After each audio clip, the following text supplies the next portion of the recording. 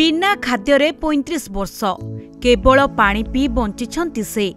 ଯେଉଁଠି ମଣିଷ ଓଳିଏ ନ ଖାଇଲେ ଭୋକରେ ଡହଳ ବିକଳ ହେଉଥିବା ବେଳେ ପଇଁତିରିଶ ବର୍ଷ ହେଲାଣି ବିନା ଖାଦ୍ୟରେ ସୁସ୍ଥ ଜୀବନ ଜିଉଛନ୍ତି ବାଲେଶ୍ୱରର ଏହି ମହିଳା। ନା ଶାନ୍ତିଲତା ଜେନା। ଏକଥା ସହଜରେ ବିଶ୍ୱାସ ହେଉନଥିଲେ ବି ପୂରାପୂରି ସତ। ବାର ବର୍ଷ ବୟସରୁ ଶାନ୍ତିଲତା କୌଣସି ଖାଦ୍ୟ ଖାଉନାହାନ୍ତି। ଚା କି ଜୁସ୍ ପିଇଲେ ବାନ୍ତି ହୋଇଯାଉଛି। ତଥାପି ସେ ସମ୍ପୂର୍ଣ୍ଣ ସୁସ୍ଥ ରହିବା ସହ ବିଲବାଡ଼ି କାମ କରୁଛନ୍ତି। ବାର ବର୍ଷଠୁ ଖିଆ ଖିଆ ଆଉ। ଖାଉନି ଆଉ। ଚାହା ଚାହା ପିଏ ପାଣି ପିଏ ଯାହା ଖାଦ୍ୟ ଖାଏ ପେଟରେ ରୁହେନି। ବାହାରି ଯାଏ ସଙ୍ଗେ ସଙ୍ଗେ। ଏଇ ଠାକୁରଙ୍କ ଆଶ୍ରା ତାଙ୍କର ଭରସାରେ ଚାଲୁଛି। ଏଇ ଯେଉଁ ଆମର ଯାହା ଦ୍ୱାରା ଠାକୁର ଆବିର୍ଭାବ ହେଉଛନ୍ତି ସେ ଆଜିକି ଛୁଆଟି ବେଳୁ ଅନାହାର। ଏଇ ବାବାଙ୍କ ଦ୍ୱାରା ସେ ଆଜି ଏତେବେଳେ ପର୍ଯ୍ୟନ୍ତ ଚାଲିଛି। କେବଳ ଜଳ। ଦାନ୍ତ ନ ଲାଗିବା ଜିନିଷ ଆଉ ରୁଚକ ନ କରିବା ଜିନିଷ କେବଳ ସେ ପିଇ ଦେଉଛନ୍ତି। ପିଇ ଦେଇ ସାରିଲା ପରେ ମିନିଟ୍ କି ଦୁଇ ମିନିଟ୍ ପରେ ପୁଣି ବାନ୍ତି କରିଦେଉଛନ୍ତି ବାର ବର୍ଷ ପାଖରୁ କିଛି ଖାଦ୍ୟ ଖାଆନ୍ତିନି।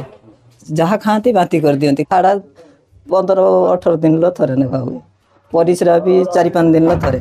କାମ ତାଙ୍କ ନିଜର ଯେତିକି ତାଙ୍କ ଦି ଭାଇ ଦି ଭାଇର ପାଞ୍ଚ ଛଅ ମାଣ ଜମି ଚାଷ କରନ୍ତି ସେ ନିଜେ ବିଲ ସବୁ ରୁହନ୍ତି। ଆଉ ଲୁ- ତାଙ୍କ ବିଲ ନିଜର ରୁଇ ସାରିକି ସେ ଲୋକଙ୍କର ବି ବିଲ ଯାଆନ୍ତି ରୁଇତେ। ଶାନ୍ତିଲତାଙ୍କୁ ଯେତେବେଳେ ବାର ବର୍ଷ ହୋଇଥିଲା ଯାହା ଖାଉଥିଲେ ତାହା ବାନ୍ତି କରି ପକାଉଥିଲେ। ବାପା ମା ଡାକ୍ତରଙ୍କ ପାଖକୁ ନେବାରୁ ତାଙ୍କୁ କେବଳ ପାଣି ଜାତୀୟ ତରଳ ଖାଦ୍ୟ ଦେବାକୁ ପରାମର୍ଶ ଦେଇଥିଲେ ଡାକ୍ତର। ଆଉ ସେଇଦିନଠୁ କୌଣସି ଖାଦ୍ୟ ଖାଉନାହାନ୍ତି ଶାନ୍ତିଲତା। ଏମିତିକି ଜୁସ୍ ଚା ବିସ୍କୁଟ ଯାହା ବି ଖାଇଲେ ସଙ୍ଗେ ସଙ୍ଗେ ବାନ୍ତି କରି ପକାଉଛନ୍ତି। ତଥାପି ଘର ବାହାର କାମ କରିବା ସହିତ ସୁସ୍ଥ ଜୀବନ ଯାପନ କରୁଛନ୍ତି। ଶାନ୍ତିଲତା ଶନିଦେବଙ୍କୁ ଭକ୍ତି କରୁଥିବା ବେଳେ ପ୍ରଭୁଙ୍କ ଆଶୀର୍ବାଦରୁ ହିଁ ସେ ପଇଁତିରିଶ ବର୍ଷ ହେଲା ବିନା ଖାଦ୍ୟରେ ଦେହ ଧାରଣ କରିଥିବା ବିଶ୍ୱାସ କରନ୍ତି ସ୍ଥାନୀୟ ଲୋକେ। ଆଉ ଯଦି କେବେ କେମିତି ଦୁର୍ବଳତାଙ୍କୁ ଲାଗେ ତାହେଲେ ତାଙ୍କ ମୁହଁ ପାଖରେ ଝୁଣା ଧୂଆଁ ଧୂପ ଲଗାଇଦେଲେ ସଙ୍ଗେ ସଙ୍ଗେ ବଳ ଆସିଯାଏ ବୋଲି କୁହନ୍ତି ଶାନ୍ତିଲତା।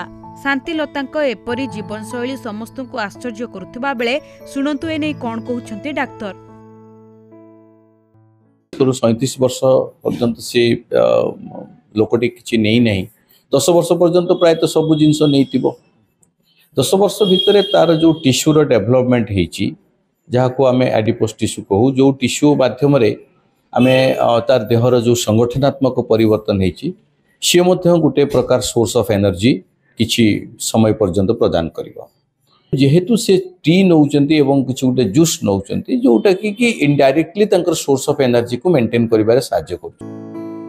ଶାନ୍ତିଲତା ଶନିଦେବଙ୍କ ଶରଣରେ ରହି ଆଖପାଖ ଅଞ୍ଚଳର ଲୋକଙ୍କ ସମସ୍ୟାର ସମାଧାନ କରିପାରୁଥିବାର ବି ବିଶ୍ୱାସ ରହିଛି। ଏଥିପାଇଁ ପ୍ରତିଦିନ ଜିଲ୍ଲା ତଥା ଜିଲ୍ଲା ବାହାରୁ ଲୋକଙ୍କ ସୁଅ ଛୁଟିଛି ତାଙ୍କ ପାଖକୁ। ଶାନ୍ତିଲତାଙ୍କ କ୍ଷେତ୍ରରେ ଘଟୁଥିବା ଏମିତି ଘଟଣା ସମସ୍ତଙ୍କୁ ଚକିତ କରିବା ସ୍ୱାଭାବିକ।